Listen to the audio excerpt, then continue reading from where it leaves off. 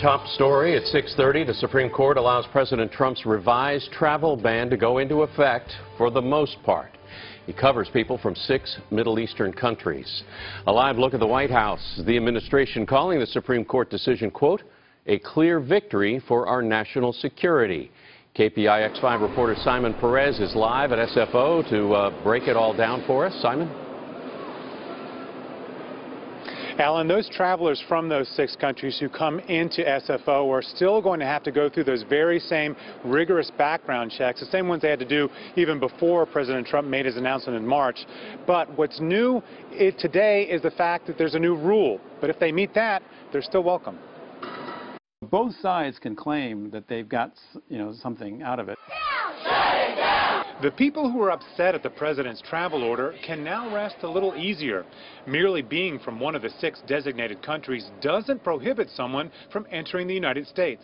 After today's Supreme Court ruling, people from Libya, Sudan, Somalia, Yemen, Syria, and Iran will be allowed into the country if they can show they have a relative or a job offer or are enrolled in school in the United States.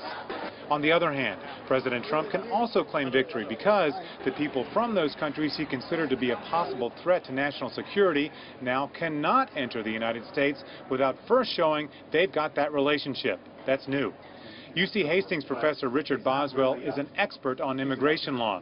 He says the new order creates more work for immigration officials greeting visitors at international entry points. And they're going to look to say, oh, do you have a relationship? What's your relationship? And if the person doesn't articulate a relationship that's satisfactory, what's going to happen? So it's, it's, it's in some ways, you know, they've thrown in a little conf more confusion into this process. In the end, Boswell says this is about the Supreme Court buying time. The new relationship requirement will stay in place until the fall. Then the justices are expected to make a final ruling on whether Trump's proposal flies. They're weighing in on how, how, how they want to handle it for the next few months. It's not clear when the administration plans to put these new rules into effect. However, the Department of Homeland Security did make an announcement on its website today saying that the rules will go into effect, and this is a quote, with clear and sufficient public notice, particularly to potentially affected travelers, and in coordination with partners in the travel industry.